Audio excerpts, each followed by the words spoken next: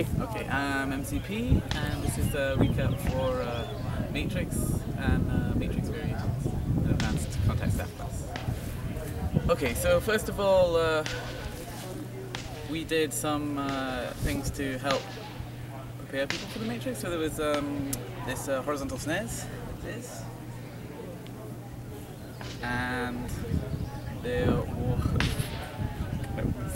um, there was a, a, another matrix variation, the Mel's, Mel's uh, variation, which goes like this. Take it out here, let it do a Steve, and then put it back in on the other side. And that is a nice, easy form matrix as well. But then having this uh, this takeout showed people that you could do a takeout and then a put back in again. And then there, taking it out, letting it wrap around your hand, and then the easy part and then the putting it back in. Place it back down on your shoulder and uh, really try and get the center point behind your shoulder when you're doing that. And then slightly easier than that after that was uh, the prayer matrix.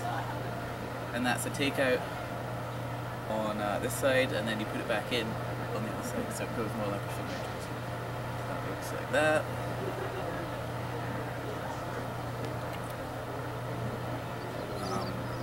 See that's going to build up. And then we did uh, some work on just plainly doing the matrix. And so the, the first half worked on this half. And if you couldn't do that quite properly, you can use this arm to rescue it if it's going off. So if it's going down, you can use that arm to bring it back up, again. Um, we did that side and then we did the other side separately and we started from over on this shoulder and hit it across. But when it comes across, you didn't want to uh, have it go right next to your neck. You want it to touch down at the edge of your sleeve, so it's easier to go around your arm. My class will be probably I mean, either you can do that by uh, letting it hit there, or you can do it by rolling, which is what I just did. I might add on the first side, this side, you want a short end come around here so you have a long end behind you to pull around underneath your arm. So in order to do that I usually put the center point more close to this side of the neck so when it wraps around it's short and then it's long in the back.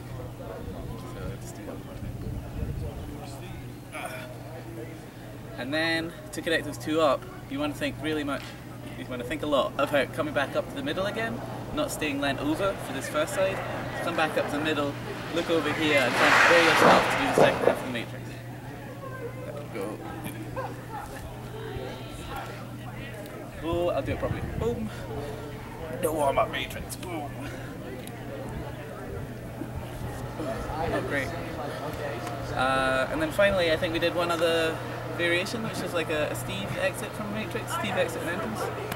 And this sometimes helps people understand how off center they have to get this first arm.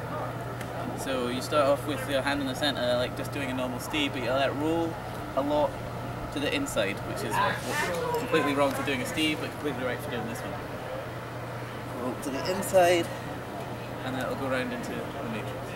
And you can do the similar thing on the other side, a lot easier. Let it roll down your arm. Uh, that's pretty much it.